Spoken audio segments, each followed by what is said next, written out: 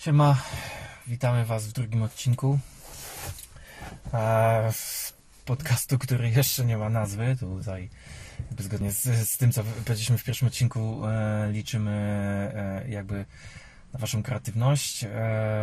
I co? Dzisiaj będziemy mówić o takim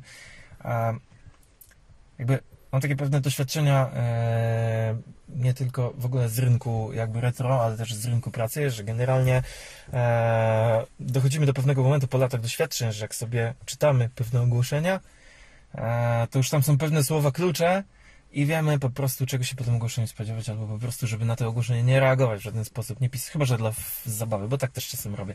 Czasem robię, zareaguję na jakieś ogłoszenie, napiszę do gościa tylko po to, żeby go zdenerwować, nie?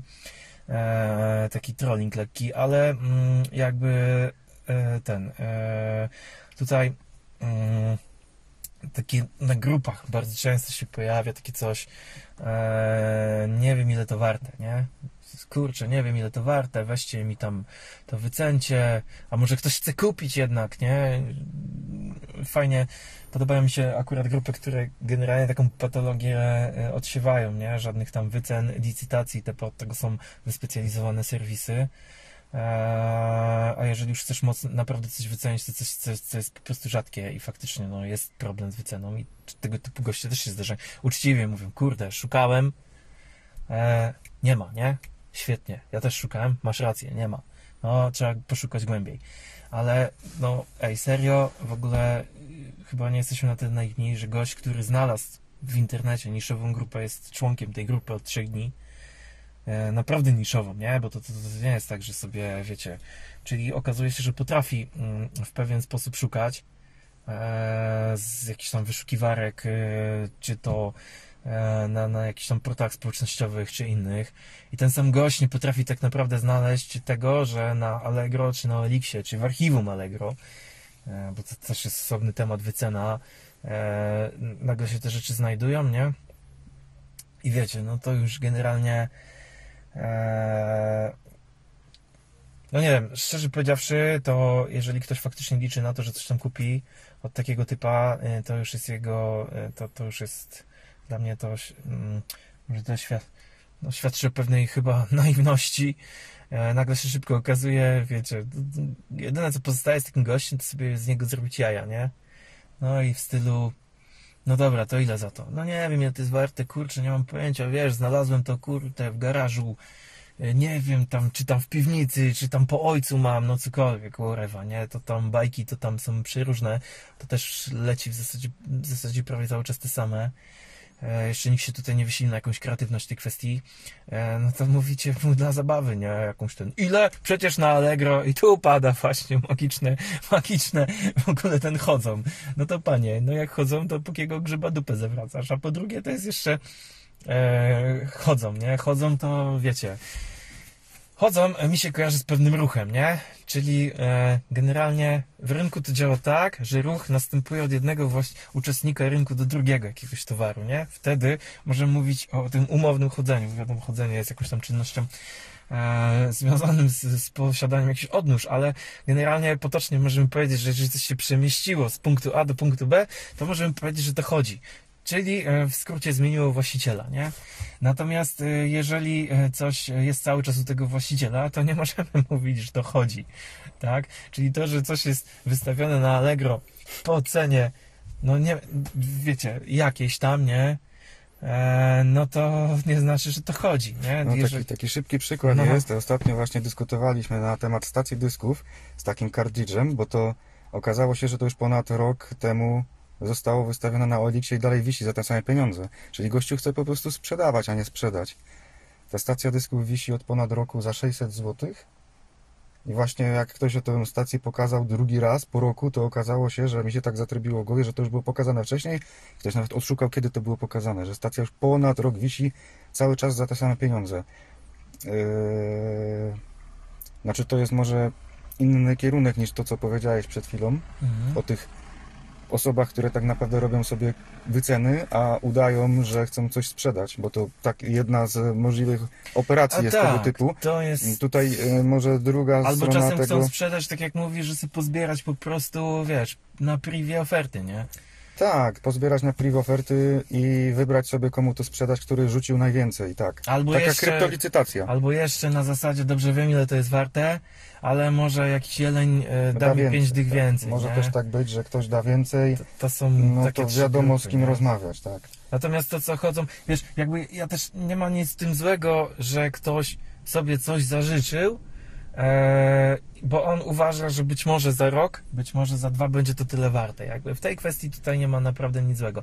Natomiast dla mnie większym problemem jest to, jeżeli ktoś na podstawie tego typu e, rzeczy wycenia faktyczną wartość tego, bo jakby e, umówmy się, nie? Masz kurczę, wiedza to nie jest żadna jakaś wiedza tajemna. Większość z ludzi będzie to czekało w przyszłości.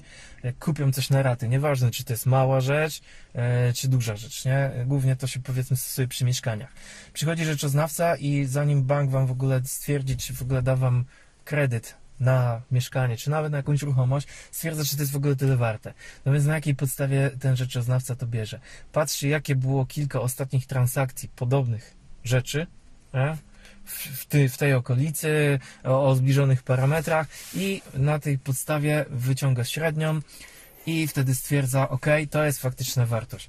Jeżeli e, tutaj, e, jeżeli, nie wiem, nikt z Was jeszcze nie był, a to dodaję taki protip, archiwum Allegro i tam sobie patrzycie, ale każdy normalny człowiek tam był i tam się patrzy, po ile faktycznie towar chodzi, czyli zmienił właściciela. nie? Tak, tak, tylko że ja tutaj yy, zwracam zawsze uwagę, że mówimy oczywiście o zakończonych licytacjach, bo to daje mniej więcej jakieś podstawy ku temu, żebyśmy mogli wyciągnąć jakąś mniej więcej średnią chociaż, po ile coś chodzi. Gorzej oczywiście, jak jakiś towar jest bardzo unikatowy, no i wtedy nie dziwię No się, że, że, problem, że wtedy oczywiście. wychodzimy z prośbą wyceny, ale od razu rozpoznajemy, czy mówimy o czymś, co jest naprawdę rzadkie, czy o czymś, co jest na tyle częste, że bez problemu jesteśmy w stanie ustalić przez archiwum Allegro. Ja cały czas pod tymi różnymi postami na Facebooku piszę właśnie w tym tonie. Przecież ci goście czasem piszą tam jeszcze jakąś bajkę do tego. I ja, ja to wprost mówię, że chłopie, szybciej byś to wpisał w to Mhm. Allegro zakończone licytacje, niż tutaj po prostu e, opowiadasz jakieś, jakieś brednie. I dlatego to właśnie sugeruję, drodzy słuchacze, że wszyscy praktycznie, którzy piszą takie rzeczy, są tak samo mądrzy jak ci, którzy wyskakują na grupach lokalnych na Facebooku z prośbą, aby im podsyłać samochody, bo oni szukają, strzelam, czegoś do 5 tysięcy w gazie. Przecież mogą sobie to równie dobrze wpisać do Otomoto i innych takich, ale no nie chce im się tego zrobić. To jest może trochę inna tutaj e, prawdopodobnie geneza za- zastanej sytuacji, ale jest to równie dziwne, że ludzie jeszcze wciąż takim kolesiom odpisują pod spodem.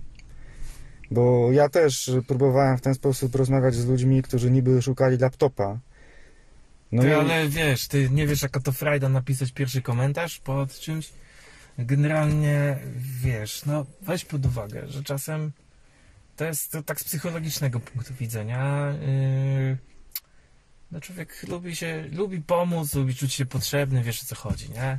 coś w tym jest. Ostatnio, ostatnio to było dla jaja wrzucone, ale to jest tak psychologicznie, że no, odnośnie programowania, że yy, gość tam po prostu taki mem był, gość wrzucił, że jak zadasz jakieś tam pytanie, to zazwyczaj jest zlewane, ale mówi miej drugie konto i pod spodem napisz pierwszą odpowiedź, ale złą, to zaraz się znajdzie ktoś, kto będzie chciał tego z tą złą odpowiedzią poprawić i A to jest akurat bardzo mądry sposób, żeby, szuka, żeby szukać pra- prawdziwej odpowiedzi. Tak, to jest fakt.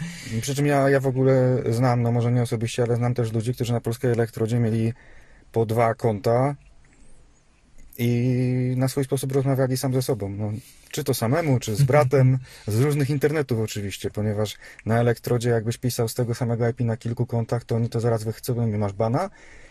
E, Co też e, było opisywane na elektrodzie kiedyś, jak ojciec, ojciec z synem po prostu mieli obydwoje konta, Mhm. i coś tam pisali, no i bany załapali, no bo coś tam ich wykryło, że to jest po prostu jakieś tam ala multikonto, tak? No ale już wystarczy, masz dwa telefony komórkowe, internet sobie udostępniasz naprzemiennie, to możesz rozmawiać sam ze sobą, możesz nawet budować swoją pozycję jako ktoś ważniejszy. To są akurat mechanizmy, które na Facebooku również mogą się odbywać. A na Facebooku już nie jesteś w stanie tego jako użytkownik, y, niestety nie jesteś w stanie tego w ogóle wykryć. Jak Tak, masz forum, tak, no to tak, możesz tak, chociaż tak. jakieś tam powtarzalność logowań czy adresów IP możesz po prostu próbować analizować. Na Facebooku jesteś od takich mechanizmów odcięty. Więc właśnie, więc tutaj e, zawsze sobie lubię napisać takiego gościa jakąś taką absurdalnie niską cenę, albo wysoką. O, to też jest wtedy, wtedy jest w ogóle dopiero frajda. E, i, I taką absurdalnie niską cenę i wtedy jak e, są wtedy dwie reakcje, nie? Jak dam absurdalnie niską, to zazwyczaj lecą bluzgi. Na privie oczywiście, bo tam pod komentarzami to wiadomo, że nikt nie bluzga, bo chce wyjść na grzecznego sprzedawcę. Nie? No tak, tak. A na privie, o, tam mięcho leci takie, że korzystając, że tak powiem, z bezpieczeństwa, e, które daje ci klawiatura komputera, bo face to face to mało kto jest taki odważny, to lecą tak, tam ostre bluzgi jakby a, a, a, a, a, a że tak powiem, a przy absurdalnie wysokiej cenie to zaraz wow, wow, wow, zaraz po prostu wiesz, yy, świecą się lampki, nie, w postaci złotóweczek i dawaj, to, to co, kupujesz, kupujesz, nie? Ja mówię, nie, no mam, wiesz, ja tam niepotrzebny mi drugi, nie jestem handlarzem, nie? No.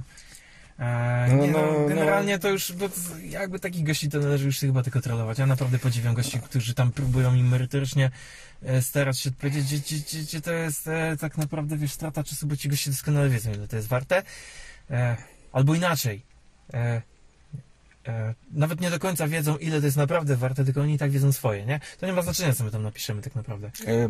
znaczy, Chyba, że są... na privie im napiszemy dobrą ofertę, to wtedy tak, nie?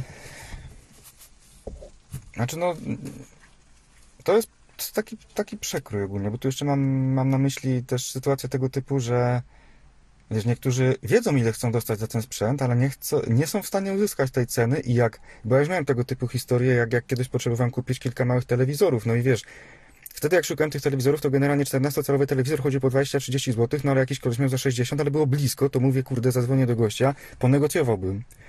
A mówię do gościa, że ja widzę, że on to ogłoszenie ma już też tam ładnych kilka tygodni i mu to nie zeszło, no to wypadałoby coś spuścić z tej ceny, a on do mnie z mordą w ogóle i, i, i że on to ma tam wystawione i, i ma i co mnie to obchodzi na tej zasadzie, wiesz, taka taka mhm, e, typowo bezczelna gadka kogoś, kto, kto wiesz, nie ma, nie ma nic mądrego do powiedzenia, ale, ale musi się wypowiedzieć, nie? E, nie, no bo jakby ja to rozumiem, że ktoś może sobie chcieć uzyskać jakąś cenę. Ja przyznam szczerze, też mam taki coś, ja praktycznie nie sprzedaję się tylko wiem, ale kupiłem kiedyś coś, co też według e, wskaźników, to nie to, że ja sobie tą cenę wyssałem z palca, nie? E, według wskaźników jest ileś warte, ja dałem i tak niższą cenę. Oczywiście jest to towar tak niszowy, że że wiesz, prawdopodobnie nikt mi tego jakoś długo nie kupi. E, trafiają się goście, którzy chcą za jedną czwartą tej ceny, to wiadomo co to za goście i od razu mówią, a wiesz, ja się zajmuję retro, no kurwa wiem, że wiesz, bo e, tutaj czuję, że jesteś handlarzem, nie? I jakby mi tu wiesz, e, ja sobie tej ceny z palca nie wyssałem i to faktycznie wziąłem na podstawie takich e, zdrowych wskaźników, właśnie tych, które mówimy, tak, cen sprzedaży. E, ale jakby to mało miejsca zajmuje mi się śpieszy i to jakby ale nigdy, nie no ludzie, no nie Blues Guy, no.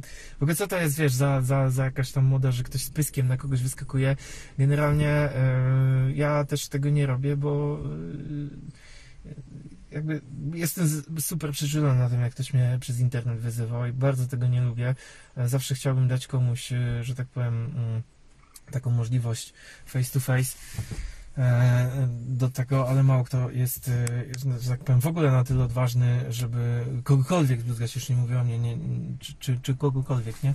Więc jakby to jest e, ten. Więc tutaj jest jakby inna, ale nie, no bluzganie to jest już jakby właśnie tak jak mówisz, nie? Generalnie trochę no to już czyste januszostwo. Znaczy, wiesz, może nie, nie, że byłem tam zwyzywany, ale zdecydowanie gościu podniósł głos i no, już było widać, że nie ma z kim rozmawiać po prostu. Mm -hmm. Już nie pamiętam dokładnie, co powiedział, bo też trudno, żebym sobie zaprzątał każdym takim detalem głowę, ale no, było to dla mnie zaskakujące, no bo no, sprzedajesz, czy chcesz sprzedawać? No ja nie rozumiem po prostu. No jest też czasem, no wiesz co, no, może i chce, może gdzieś tam liczy na to, że to gdzieś kiedyś, ja przyznam szczerze, jedną rzecz, którą się wymieniałem, to zanim, dos, dos, okay, dostawałem dobre oferty, bo miałem to tylko na wymianę, to była bardzo taka y, rzadka rzecz, e, dostawałem dobre oferty, ale na, mi nie pasowały, bo akurat już te rzeczy miałem. E, i zajęło mi to chyba 4 lata, zanim się dobrze wymieniłem i ja, ale wiedziałem, że kiedyś taki moment nadejdzie. Tak, nie? tak, ale tutaj mówisz o specyficznym czymś, rozumiem, w miarę wyjątkowym. Natomiast taki No. telewizor wciąż dzisiaj nie jest specjalnie wyjątkową Okej, rzeczą no i jasne, takie telewizory jasne, zdobywa jasne, się generalnie po prostu za darmo, jeżeli nie chcesz za to płacić. Bo jak zapłacisz te 30 zł, to masz go, podejrzewam, dzisiaj wciąż natychmiast. Mhm. Jedziesz i masz natychmiast, Mhm. a jak gdzieś tam po tych różnych tam grupach haraśmieciarkowych poszukasz, Mhm, mhm. to też Tak, zgarniesz sam za taki- darmo. Sam kiedyś Trinitrona Sony tak zdobyłem. No, no właśnie, właśnie. Takie trinitrony ludzie też potrafią wystawiać za darmo, też nawet na OLX-ach Tak. e, różnie. No to akurat e, mówimy o innej skali produktu po prostu, aczkolwiek mechanizm jest owszem podobny. Mhm.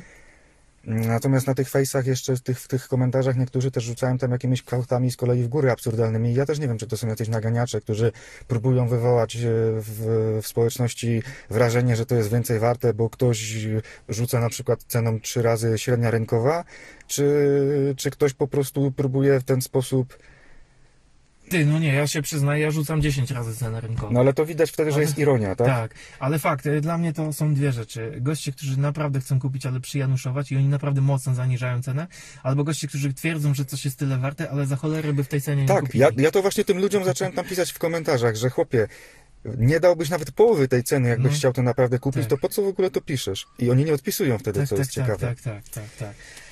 No E, tak, bo tak jak ja daję 10 razy, to wtedy każdy widzi, każdy mądry oczywiście, bo tam część się gdzieś tam śmieje, co ty głupi jesteś, to wcale nie jest tyle warte, ale jakby większość osób widzi tam ironię w tej kwestii, nie? No bo ciężko tutaj w ogóle potraktować poważnie taki komentarz, jak dasz 10 razy cenę No tak, nie? tak.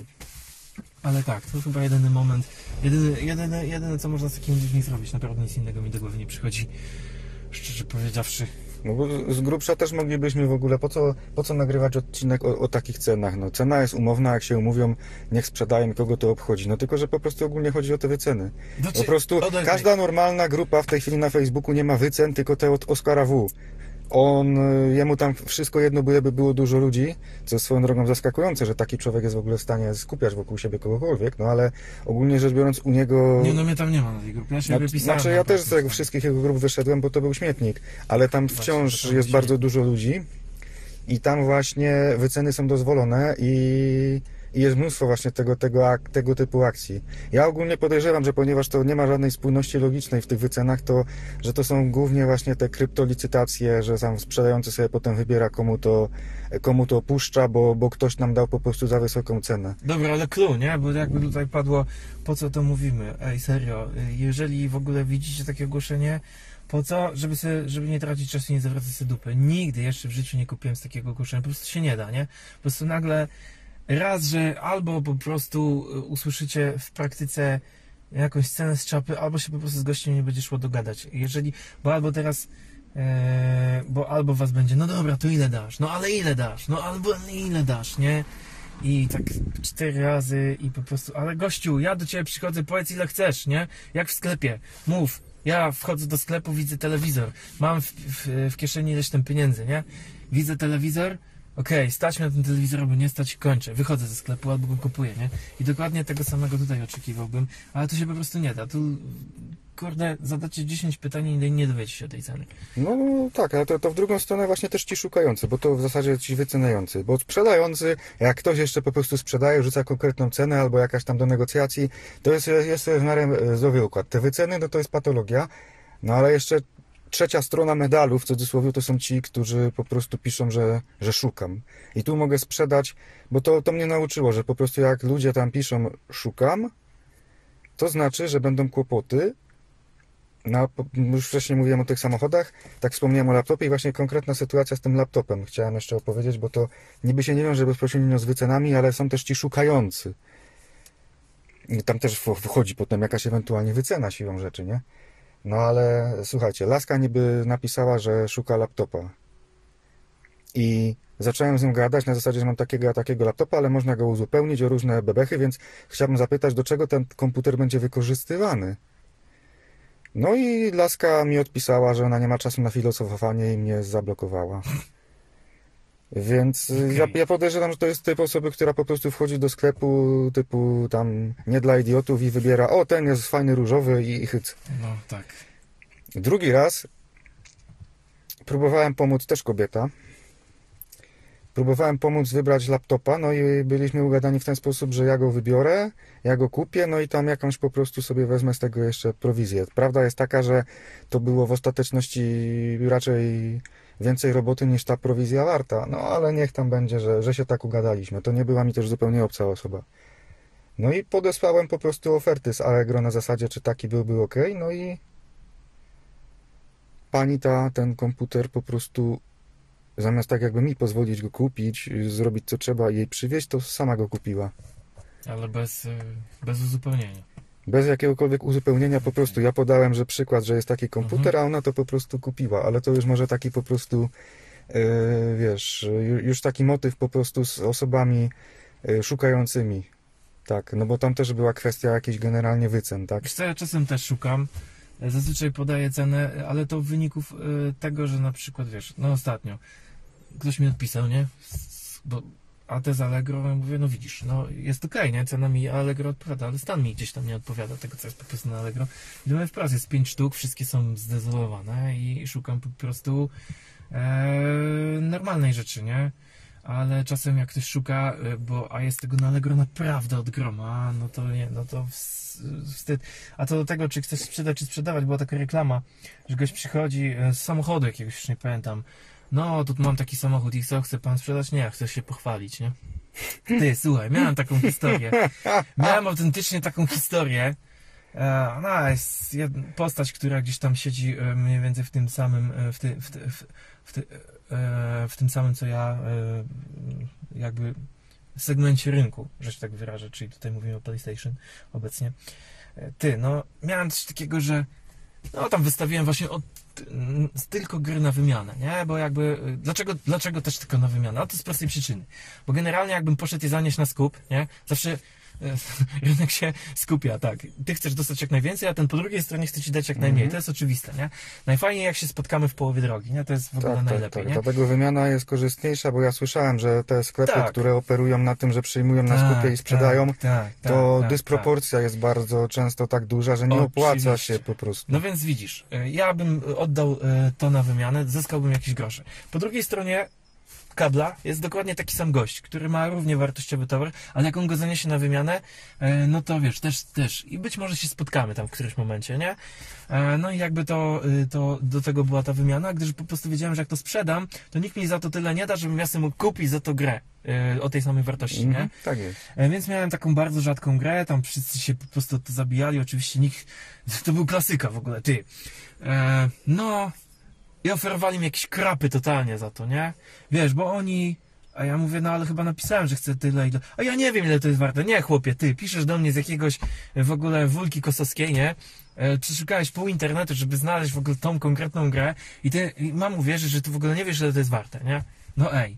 Gdzie w ogóle z jakiegoś powodu wszyscy nagle piszą do mnie to, z tą konkretną grą, mam ich od groma, nie? Ale y, jakby w sprawie tej. No ale wygrał dla mnie jeden gość, nie? Mówi do mnie, tak wydawał się taki konkretny. To powiedz może, czego ty chcesz, nie? Wiesz, może, bo ja tam mówię... To tak już y, kończąc. Y, Mówię, powiedz, czego ty chcesz, nie? Y, Czego ci brakuje? Ja mówię, dobra, brakuje, szukam takich, takich i takich tytułów. On do mnie mówi, o ten mam, nie? Świetnie, może się dogadamy. No i piszę do gościa, gość coś tam nie odpisuje, nie? Eee, I ja mówię, dobra, to co, robimy deala, nie? Jak się zamienimy? Zamienimy? Ja ci chciałem tylko powiedzieć, że go mam. Serio. Chciał się pochwalić. Naprawdę, no, nie? masakra. I wiesz, y, chciał się pochwalić pod postem i wiesz, najpierw sam mnie zapytał, czego szukam. O, to ten mam, nie? I potem zamienimy, przecież ja ci chciałem powiedzieć, czego mam. No to tak tym optymistycznym akcentem to dzięki. No, kończymy drugi odcinek. Bardzo Wam dziękujemy.